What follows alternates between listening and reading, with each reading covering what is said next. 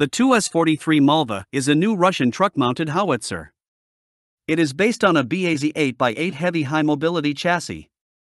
Conceptual designs of this artillery system were first revealed in 2019. The prototype was first publicly revealed in 2020. Testing of this new Russian artillery system began in 2021. Currently, there is no information whether or when it will be adopted by the Russian army.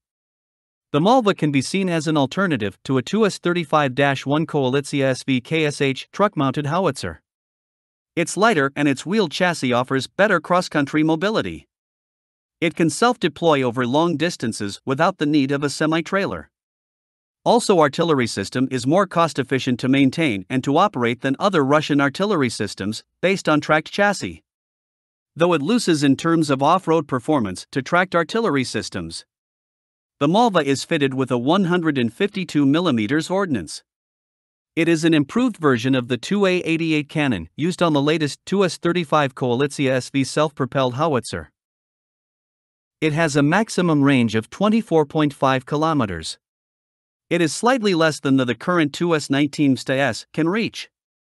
Furthermore, it loses in terms of range to the older 2S5 Giatsint 152mm howitzer and the latest 2S35 Koalitsiya SV that can reach 30 to 70 km. Maximum rate of fire is up to 7 rounds per minute.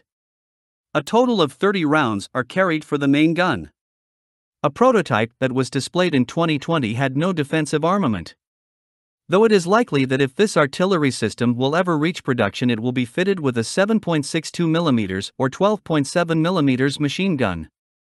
Vehicle has an armored cab. It provides protection of the crew against small arms fire and artillery shell splinters.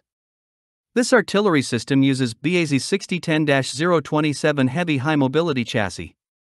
It is a purpose designed military vehicle that can operate off road. It is powered by a YaMZ 8424.10 diesel engine, developing 470 horsepower.